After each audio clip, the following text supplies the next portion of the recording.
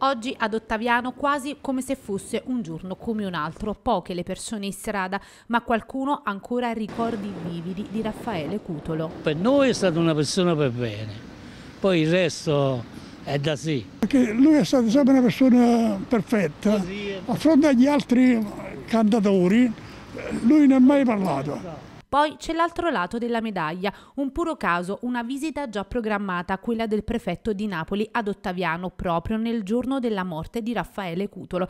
Un momento per raccontare il territorio, delle problematiche e delle difficoltà. È una storia del passato che non appartiene più alla realtà del comune di Ottaviano. Ho avvertito molto la necessità che il peso di questa negativa eredità non appartenga più alla narrazione di questa realtà cittadina. Nel tour la visita al castello cittadino di proprietà di Cutolo è confiscato, adesso riconsegnato alla cittadina. Eh, ci siamo buttati alle spalle un passato, ricordando che Ottaviano è stata una parentesi bruttissima in quel momento. E anche questo palazzo è il segno della restrizione alla città, il palazzo Medicio, il palazzo degli ottavianesi, il palazzo dell'intera comunità, diciamo sulla linea della legalità. Intanto per quanto concerne i funerali, le esequie potrebbero tenersi ad Ottaviano stesso, ma nulla è stato ancora deciso in via definitiva. Nel corso dell'incontro il prefetto ha ribadito che con molta probabilità si tratterà di un rito per pochi familiari stretti.